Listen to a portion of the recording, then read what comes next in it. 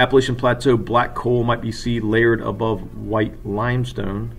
What does this tell us about the region?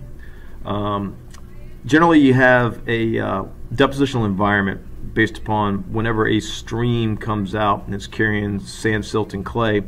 Uh, it'll lose energy, and the sand will drop out first. That's why you have sandy beaches. And then as you move further offshore, you get our shales and our muds, much finer. And then finally, we get our limestone, because this would be where, the reefs are developing offshore. The reefs don't want to be too close to the shoreline because uh, the organisms that build those reefs don't like being covered in sand and mud.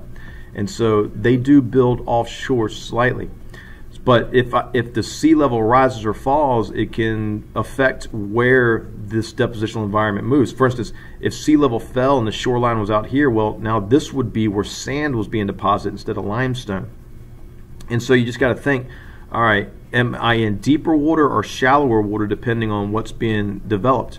Um, right here we have the uh, the uh, says we had black coal above white limestone. So if we had some limestone down here, all right, draw a little symbol for limestone.